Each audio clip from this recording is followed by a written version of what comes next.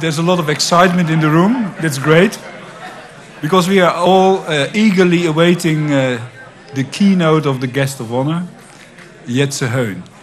Dear Jetze, this uh, seminar is in the honor of you and your retirement, and we would love to listen to you for your nice presentation that is to come. Thank you for all of us. Please uh, let's sit down. Jetze, the floor is yours.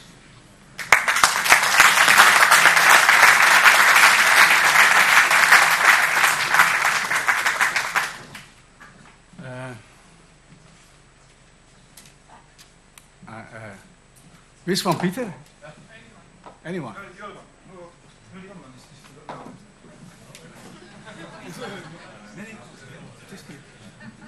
Oh, there it is. It's so small. Yeah, and not too close to this one.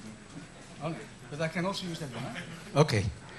I'm a bit of ner- quite of nervous because uh, I waited 38 years for this. and I always prepare things on the last evening, so as Wim told he. I do not know how long it will take. Uh, I have learned uh, from stories on presentations and on conferences where this clock is running that you always have to start with your conclusions. Because then you are sure that the conclusions come over. And then you can skip half the story. But if you don't tell the conclusions, yeah, then it is a zero story. Now, my conclusions of this afternoon will be about saying thank you. And uh, there may be one thank you which I may forget in the end, because it is then too late and someone called, yes, it is quarter past six, so we should stop. So I will start with the end conclusion. And that's about Marianne, who is here. Marianne, can you... Um, we uh, have been uh, around uh, in my professional career, or whatever we call it, life, for 38, almost 40 years. And half of that we did abroad, and half of that we did here in the Netherlands, but most of the time abroad. And I have prepared a slideshow. There are a million thoughts, so it will kind be kind of a, a rocket going through time, a combination of von Braun and Einstein. And um, it will give, it will be about my work. It will not be about the fact that we went together through revolutions to 17 year old people who had AK machine guns and killed uh, factory managers, bodies in the streets, MiGs overflying the house on the way to the palace in Kabul, and whatever there is. And very often I was far away in the field, and Marion was alone. But she did it very well, because it's, it's Marianne. And uh, uh, it's not always easy to share it with everybody what we have been experienced together. But um, we always say to each other, nobody can take it away from us anymore. But it means also that in my overview to you, I will not spend too much time on gaming. Everything is a game. But I will simply review my professional life a little bit and draw some lessons from that. And Marianne, already, thank you.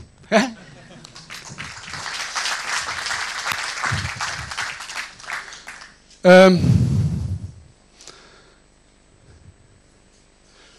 okay, now, I did it a little bit in chronological uh, sequence. Um, so, we start in 1975, 6. Uh, now, I hope I understand how this works, yeah? Do you recognize this country? Oh, Ethiopia. Huh? Blue Nile Falls, a real Ethiopian settlement, a lady from Harar, the ladies in the uh, typical Ethiopian dress, and a monastery on the islands in Lake Tana, where you have old Coptic uh, books uh, on display. And um, I worked here for uh, the Ethiopian Water Resource Authority uh, as your United Nations Associate Expert. And um, we were busy in uh, putting rural water supply systems together, trying to find groundwater, trying to install tanks and pumps. We had the first windmills, and um, I, uh, it was my first experience abroad. It's quite challenging. Uh, and maybe there's one, one story I still remember of that uh, Ethiopia, is that on a certain moment I flew with Peter Stern of Oxfam to Assosa. Assosa is a small village on the border of Sudan and, uh, and um, Ethiopia. And then, uh, oh, I go very slowly. I should have my watch here.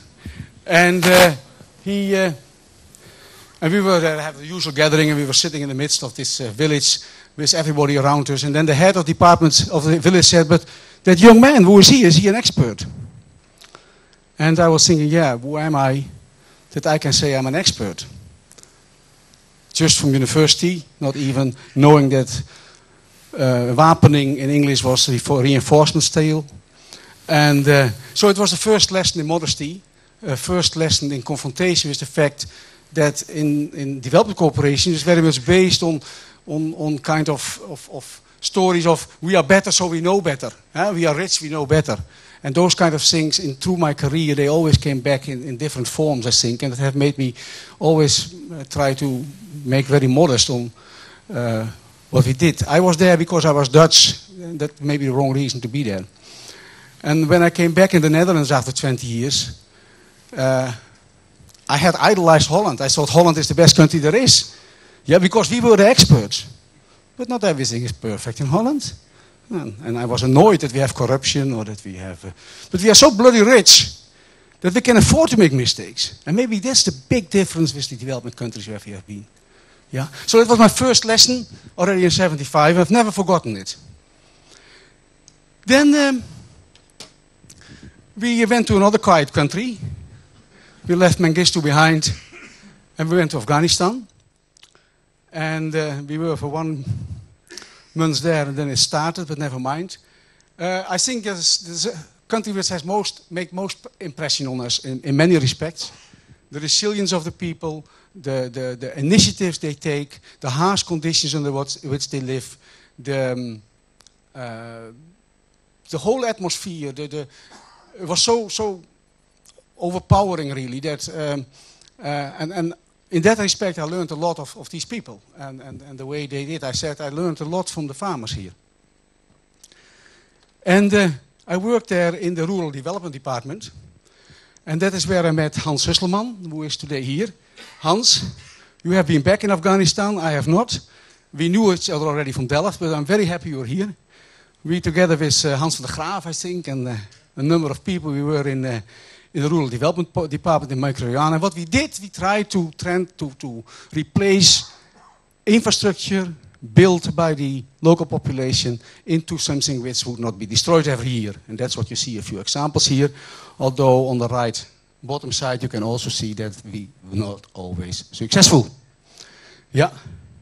And uh, if uh, my dear colleagues know the solution to uh, this type of problems, uh, which we were confronted with very often, erosion along a river, and uh, if, you, if you look at it well, then you can see an irrigation canal over here, yeah, uh, which is threatened by this erosion.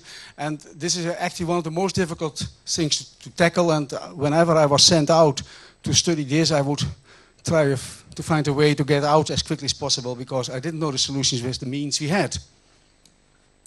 Oh, I have to go back. How do I go back?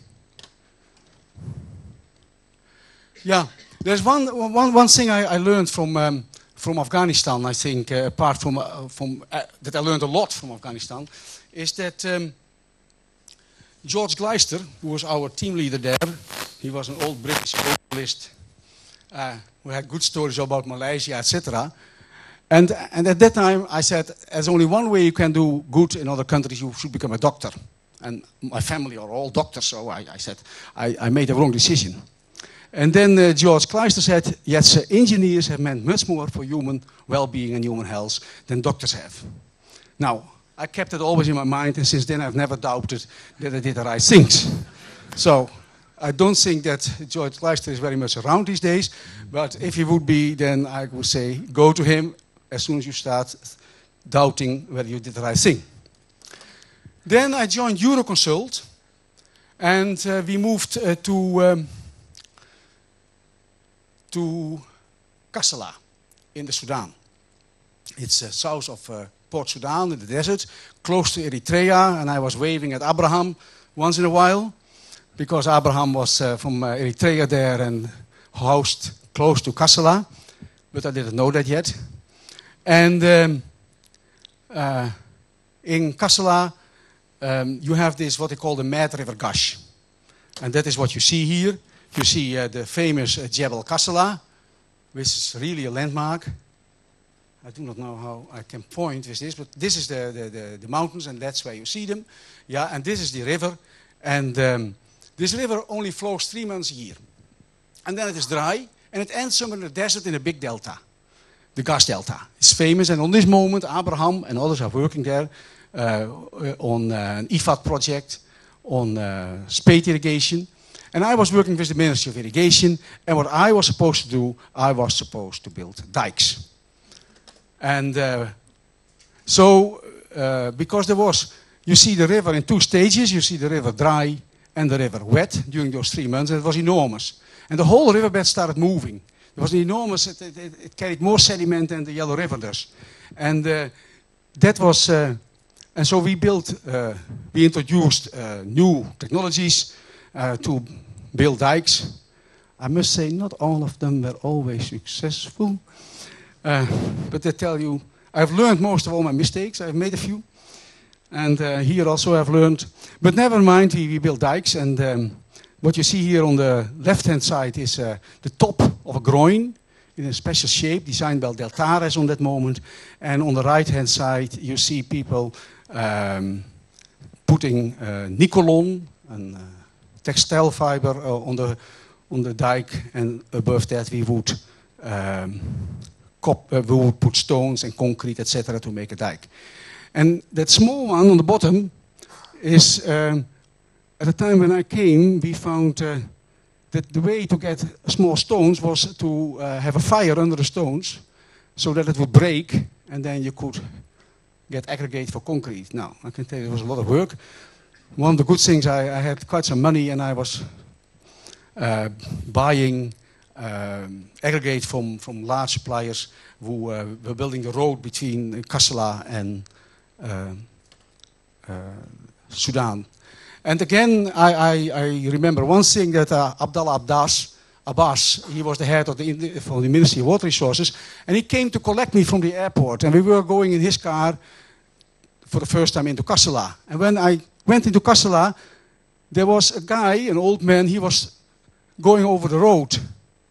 And I was a young man, and I said, How can this man be so stupid to pass the road like this? And Abdallah said, Ah, but he is an old man, he is not used to this new traffic he is.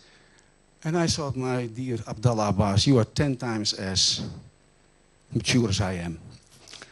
And uh, I will always remember that as a lesson on that you have to think from out people's situation and not over people's situation.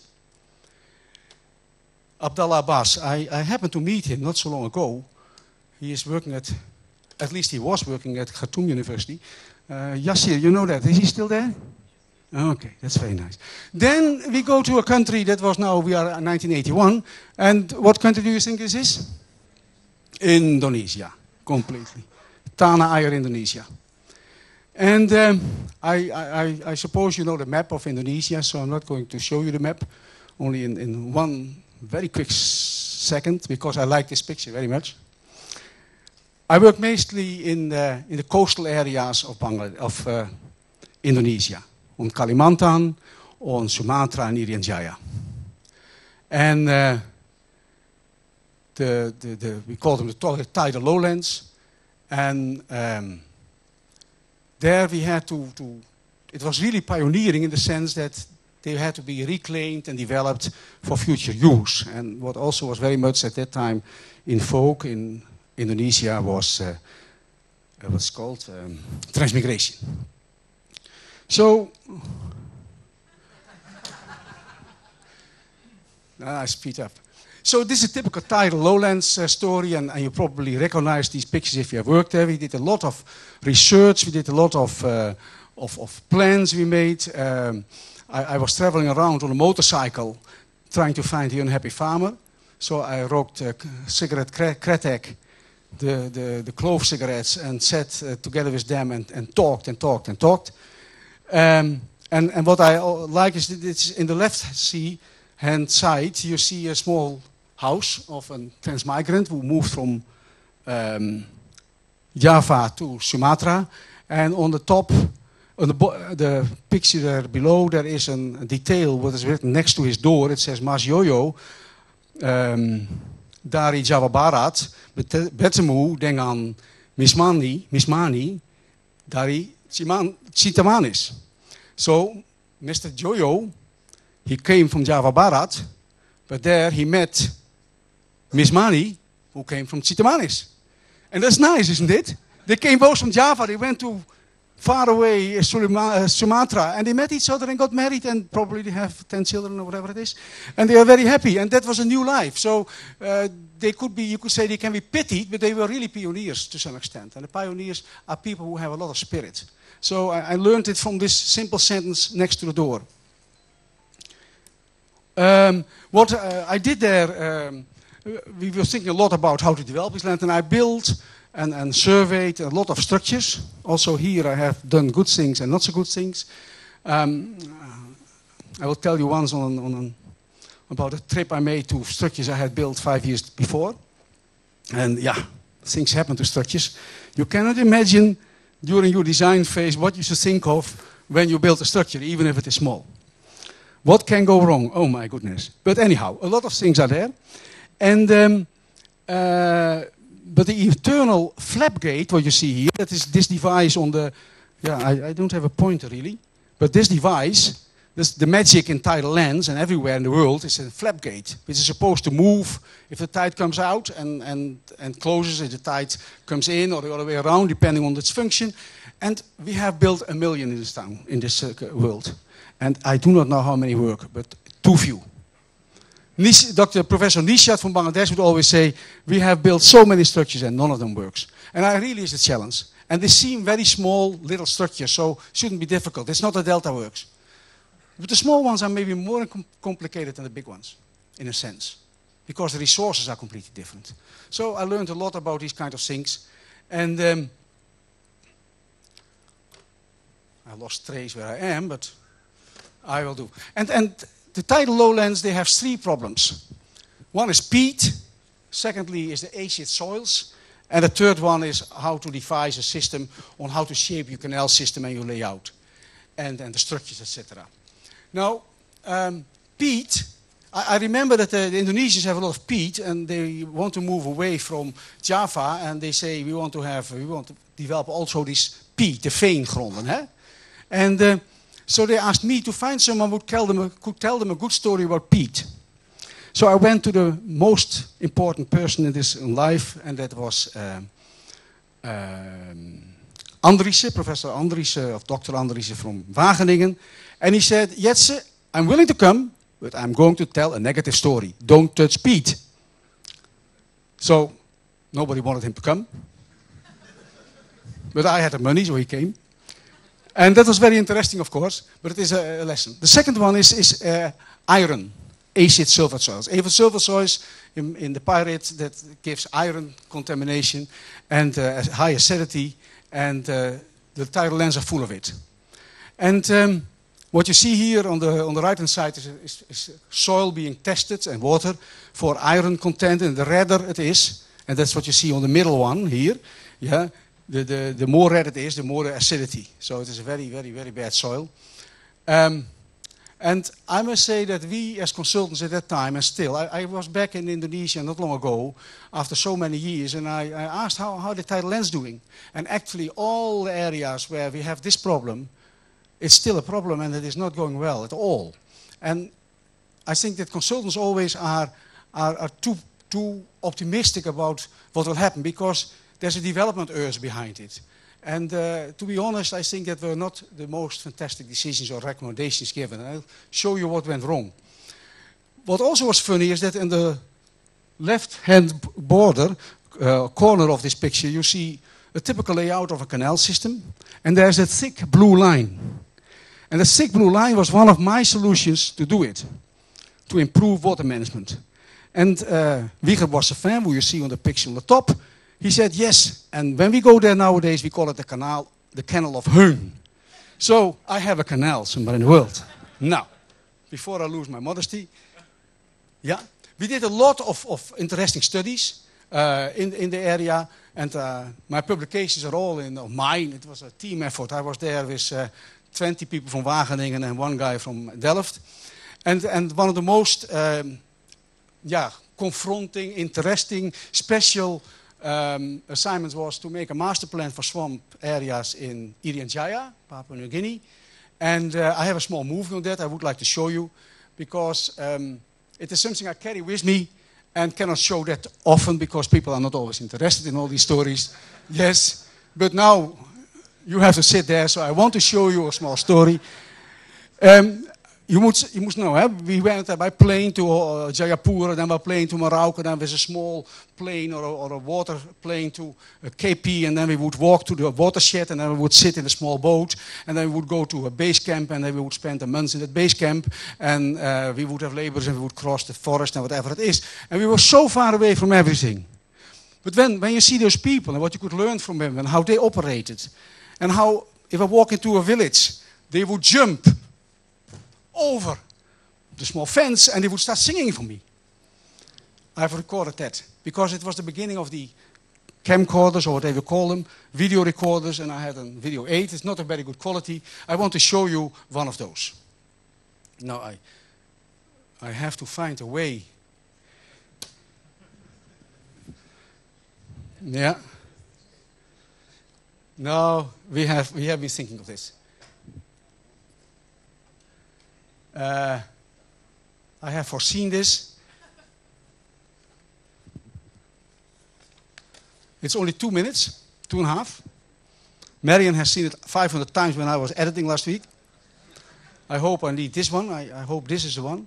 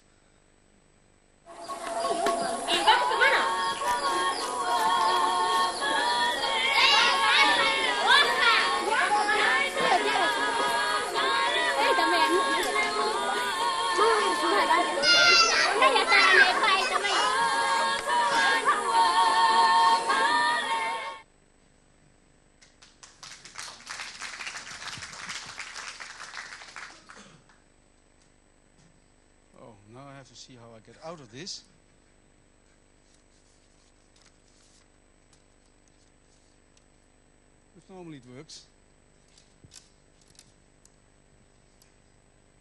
Oh. I was in one, was it? Yeah. Now, one, one, one thing I, I think that what, what consultants do, what governments do, and, and I saw in the, the reports we made in Irian Jaya, the reports on acidity, you can always, when, when you decide on something, you can always say two things. You can say, yes, do it, provided that you do so and so, and you can say, no, unless you do so and so. And the sentence coming after that is more or less the same. But there are two different things, because one you say, yes, do it, and the other one you say, wait. Now, you could also call that the environmental precautionary uh, principle. Now, the point is, okay, we need some light, is it? Oh. I have the magic under my fingertips. Oh.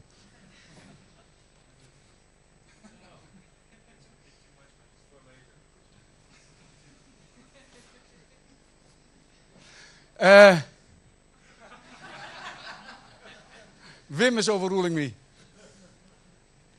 Wim, can we have a softer uh, version? Ah. Can you see it? Yes. Huh? Okay.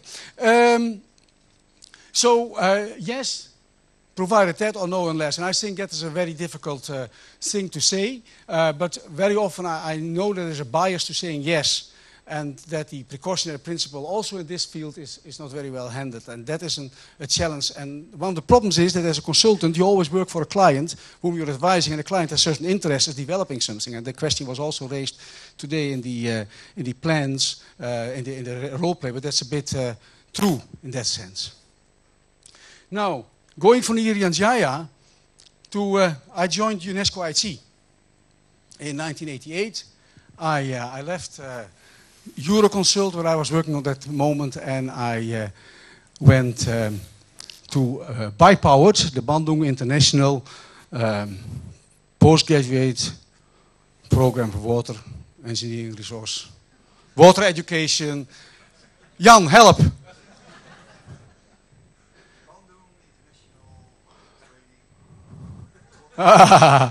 Anyhow, yeah, and um, uh, by the way, uh, Irian Jaya is Jan in the, in the yeah Jan because you were with me in Irian Jaya at that time already, struggling through the uh, through the forest, and um, anyhow, so we went. I, I, joined IT, and I thought, well, that is good because now I can.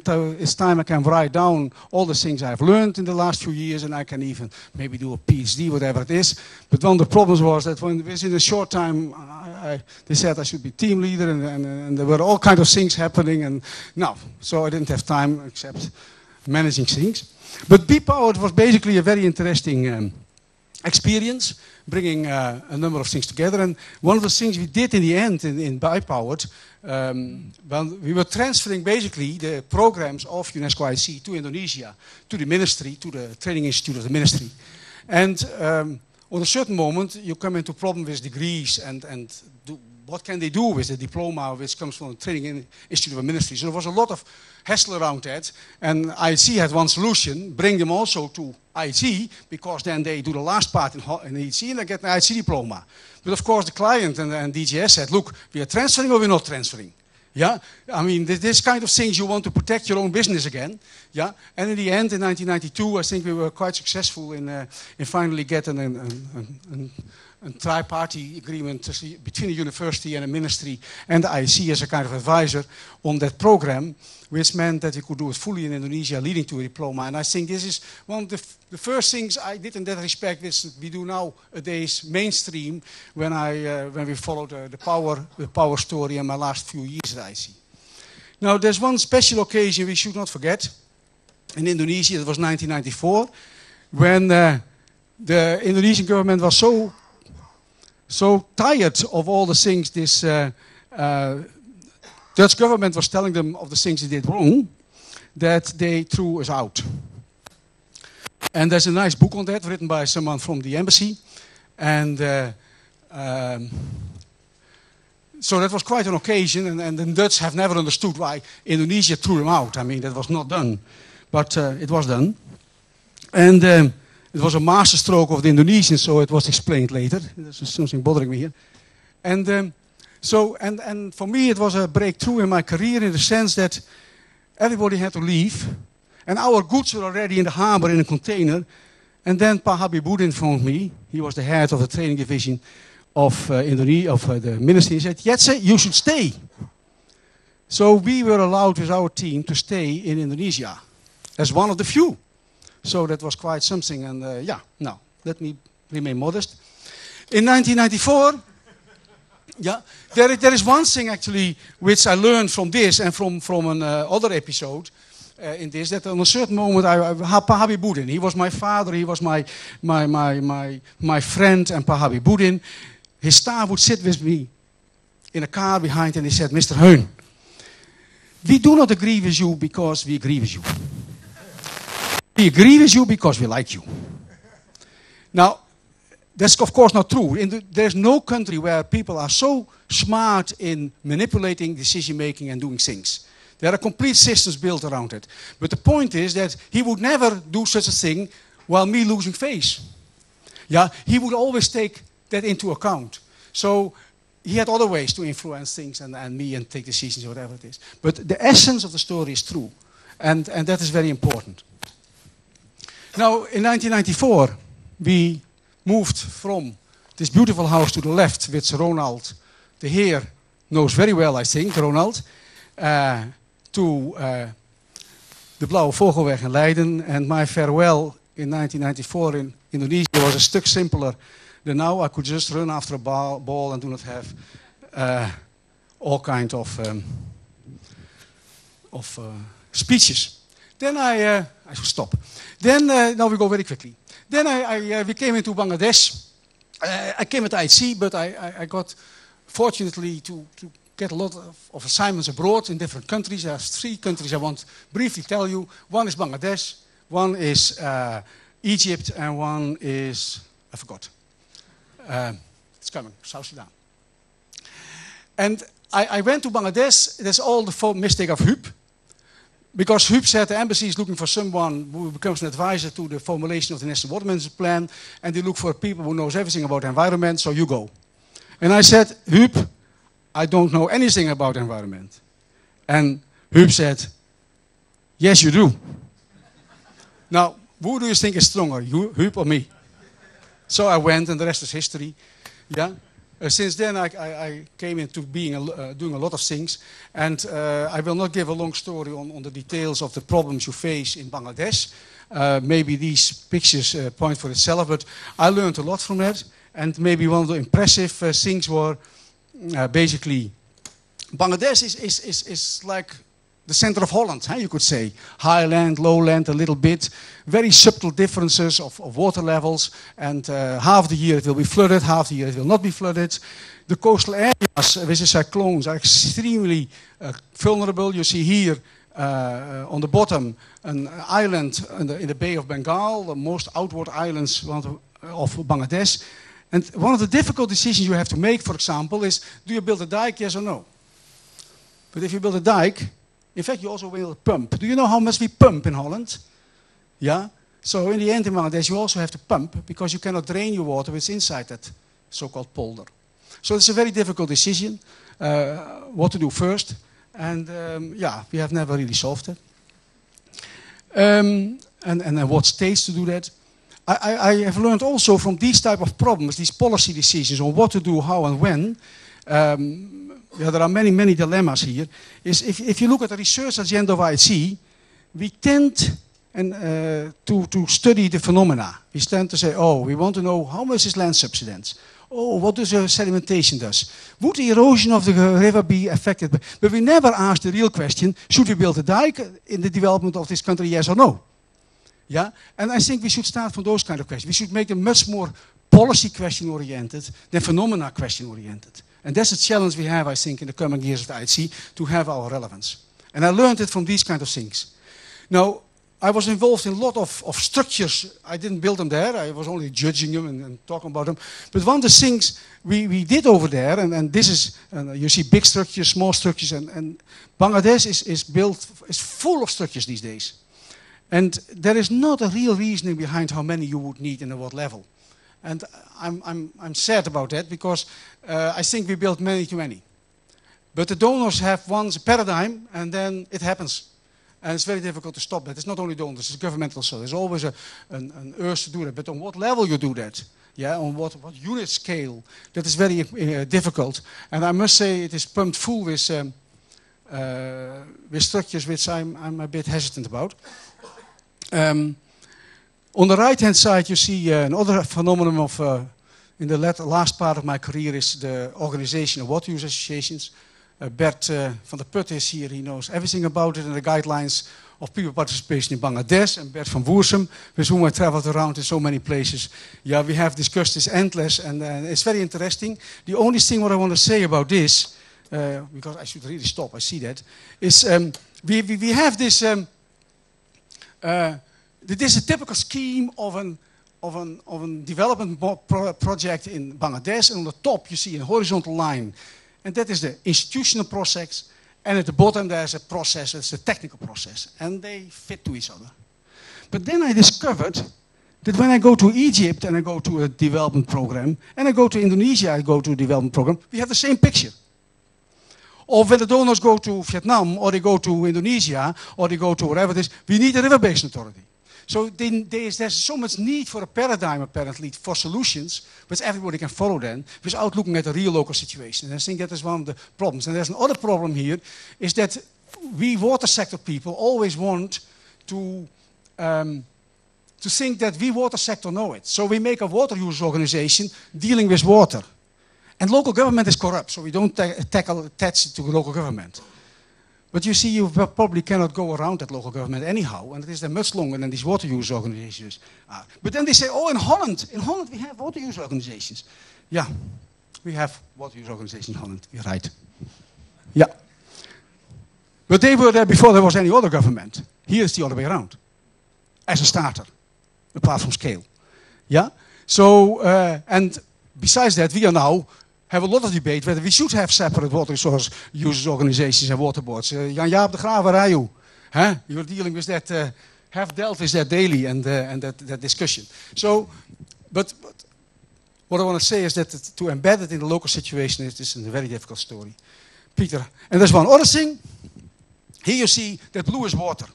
And Bangladesh has basically two seasons. It has going water going up, dry season, water going up. And they have a very complicated cropping system. Now, what we normally do, we, we focus on the extremes. We focus on that high water and we focus on the very low water. But actually, that high water and that low water is there always. And people are used to it. They have managed to deal with it somehow. But in between, you never know what happens. Does a flood come late? Does it come early? But that is much more affecting the local farmer and the poor farmer in his management of his uh, complicated cropping system than at extremes. So you should focus on the area in between. You should focus with your plants and everything here. But of course, that is not interesting because a good flood or a good drought, that is what you like to see on the TV. Yeah, and that's why you think you do something. But that is not, if you talk about resilience, about security, about vulnerability, it is not by definition on those areas. And I, that's a lesson I learned as well in Bangladesh. Then I was so lucky to be involved in Egypt. And I will not tell much about Egypt, but I have a few lessons written down about Egypt. I, I did many studies in, in, in Egypt, working for uh, different locations. And, um, but I, I, want to say a few things. If you look at, and everything in, in Egypt in the, in the, water sector focuses on the stories on, oh, we have water scarcity. Yeah, so they will uh, say, uh, uh, and you see here you see the, the population grows, and here you see the amount of water per capita which is available. And they say we have to save water, we have to do. And, and they come with a lot of solutions, they invest heavily in efficiency and, and all those kind of things. And, and, and there is an, and they have reuse of water and all those kind of things. That's all correct.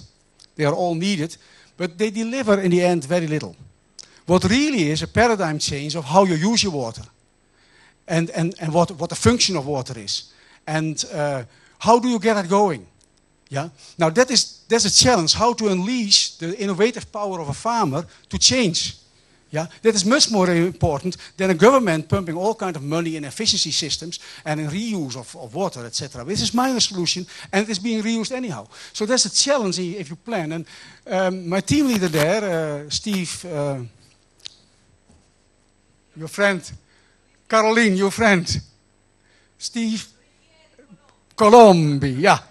No, but he would say, yes, it's all wrong. We talk about IWRM. We should talk about wine. IWRM stands for Integrated Water Resource Management, if you didn't know it. But he said, take wine, water in the national economy. That is what it's finally about. And I tend to agree with him. So I think the paradigm of IWRM is too much thinking from within the water sector itself. Huh? We are so strong and we think we are so important that we, we talk about those kind of things. And last Monday, I was on the Innovation Award ceremony at the, Inter, the International Water Week in Amsterdam, and the winner in the end was Vitens. And the person from Vitens, he gave a speech, and he said, look, one of the things I've learned as Vitens, we have to look outside the water sector. Was the winner of the Innovation Award in the Netherlands, 90, 2013. A wise guy. Now, I'm not going to, I stop. Yeah? This is very interesting studies I did. We stop. Finally, uh, South Sudan.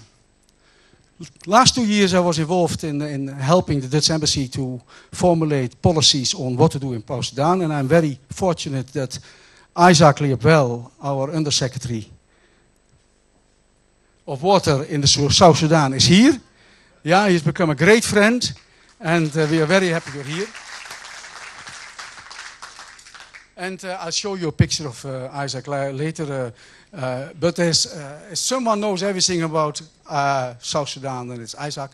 Um, the challenge actually there is that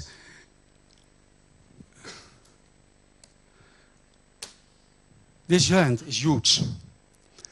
And there are very few people. 16 times as little uh, populated as Holland per square kilometer. There are huge plains which are flooded half the year. What I show you here is dry. What I can show you also is wet, same area. And the, the point is that we can have a lot of ambitions, but how ambitious are the people themselves? What can they achieve with the limited facilities they have?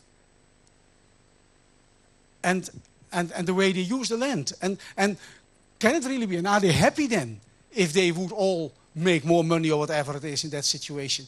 And, and, and how much can they handle? So that, that whole livelihood story and how to, to fund, we, we tend too much, I followed also in the South Sudan where we said, oh, we have to think in business models and we have to think in economic development. But first, let's define what they think they consider economic development. Now, that's a very difficult thing, and uh, we didn't, uh, I found it very difficult to, to try to formulate it into a project proposal. We have Hopefully we succeeded and we're going to test, our embassy is now paying quite some money to help South Sudan to develop policies and, and implement things for cattle, for agriculture, and for people.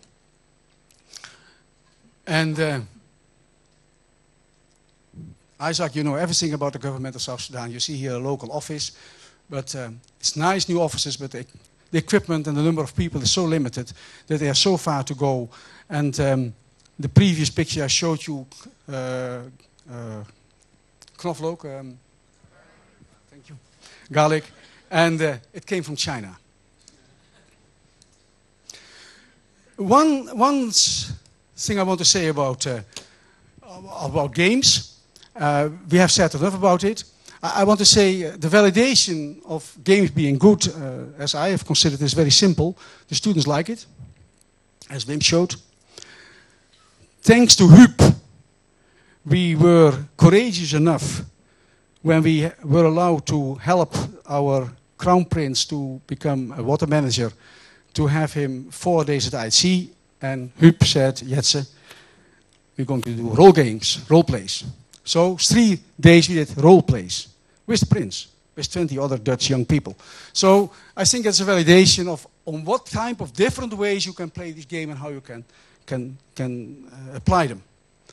And um, now, no time for that other picture. The other thing And, the, and this is an, an, a very well-known thing, I think. Is the, the pyramid of learning. And uh, where you are in the pyramid defines the width of the base, how effective learning is. And on the top, there is lecturing. And at the bottom, there is simulating the real experience. Now, that picture alone helped me to the idea that games are a good thing. And I remember also very much when I, I st started my uh, first assignment uh, going abroad, I, I had, had, to do a course at the Royal Tropical Institute. And we had a world trade game. Which was wel bij Van Tinbergen. And I've never forgotten that game. It was so fantastically interesting on following trade flows in the world. So fantastic. So, validation there. I did a lot of, uh, besides that I went into the world of doing policy analysis and type of things and program formulations with Bert van Woersum a lot. And, well, we don't have time. A little bit about IT. Um, I will not say much about IT because I've, I leave that to others, also about my functioning at IT. Yeah, I, I, I want to show you one picture. You see, IT is, is, is, the, is the best institute in the world. It's fantastic. It's very tiring because continuously things changing. Our surroundings continuously change. Policies in which we operate change. Every year we have 180 new uh, students. We have so many influencing factors that this beehive of things is, is, is, is a fantastic, stimulating experience, but it's very tiring as well, some people say. And if you are talking with some people, they say it's chaos. Now, I have now learned recently that chaos is the best thing there is. Because from chaos, new things come continuously.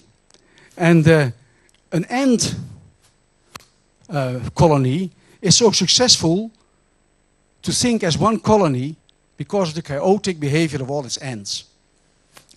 And what you see here was a story in, a, in uh, what I read recently, and this is a caterpillar which becomes a butterfly.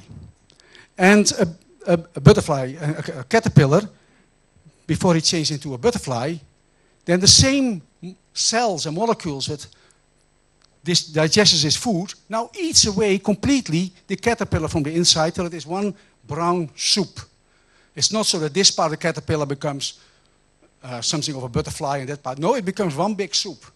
And then suddenly, two remaining cells see to it that from that chaos, that big soup, a butterfly emerges. So, I see adapt chaos.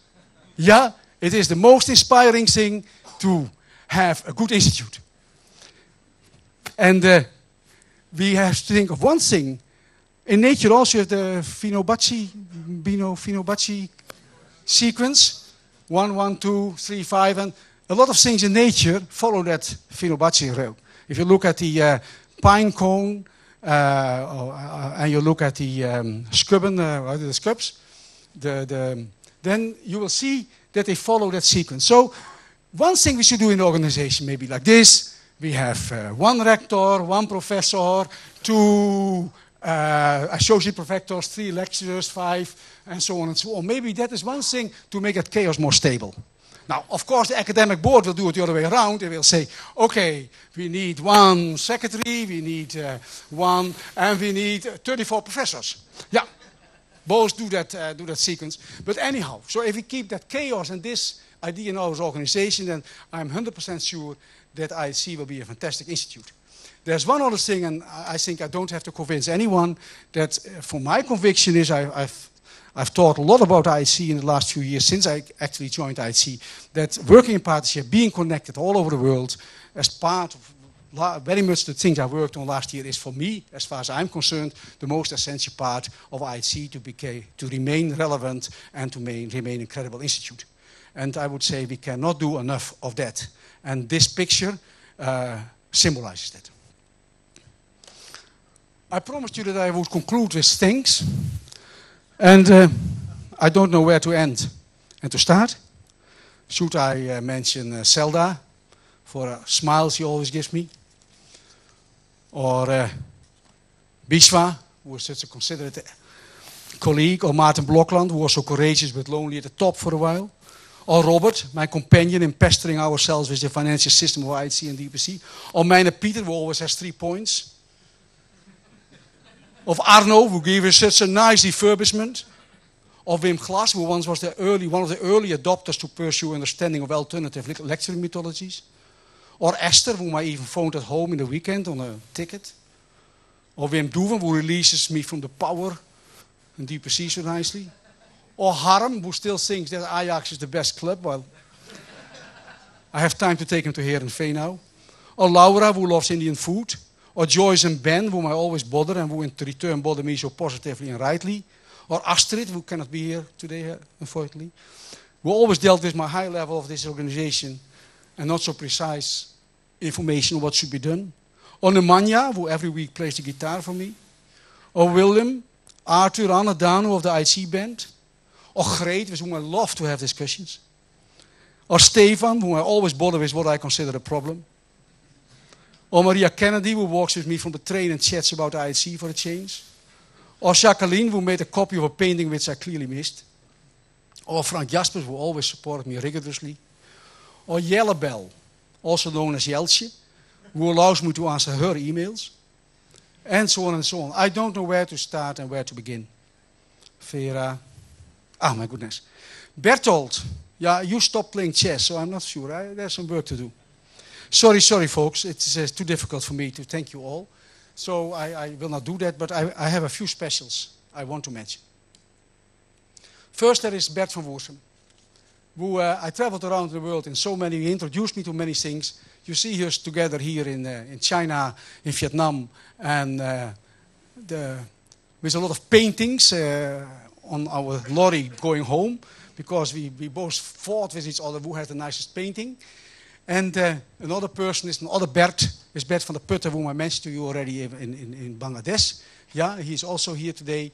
And uh, with these people and, and many others, Bert, our, our discussions with Laus Schulpen and, and Anneliet, Annette uh, Hubach, fantastic, huh?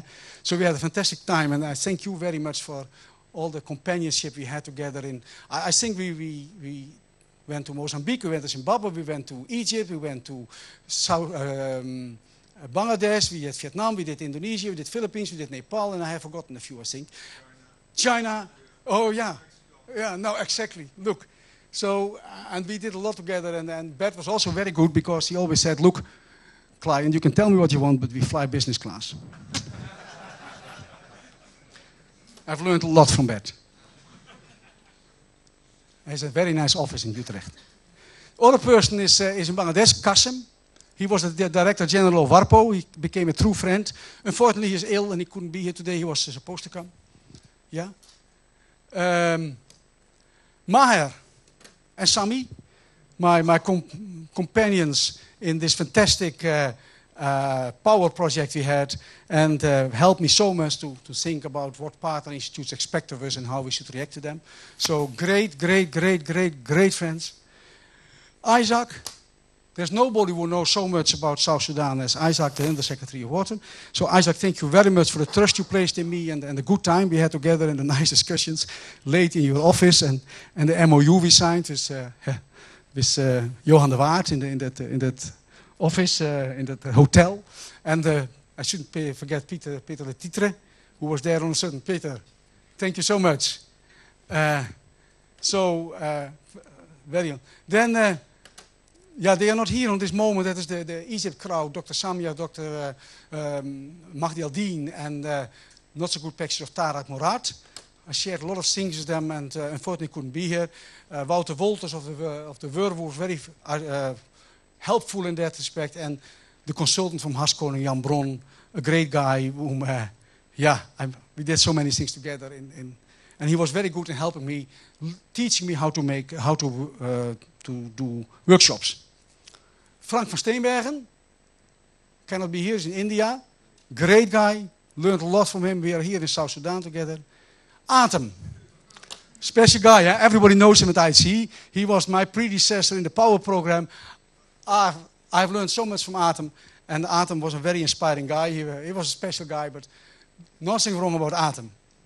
The threesome, Rien, Annemieke, and Hattie. Hattie, I didn't have a picture of you, but uh, uh, I couldn't find it uh, in the time I had.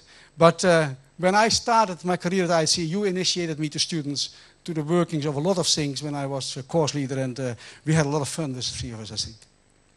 Guy, who made, uh, added so much to IHE with his uh, cultural approaches. Jan Luijendijk, who really became my every morning I walk into Jan's office to discuss latest things, and I, we had so many discussions together. He was such a nice uh, vice actor for me when I was in Indonesia and later. So Jan, thank you, thank you, thank you, thank you so much. And Guy, next to Jan, also uh, very, uh, very, very, very, very um, and, uh, encouraging um, interactions all the time. Wim Douven, who is so courageous to take over my job, but it's not courageous, it's, a, it's, a, it's very nice to him two very strange guys with the, the Bollinger in between us.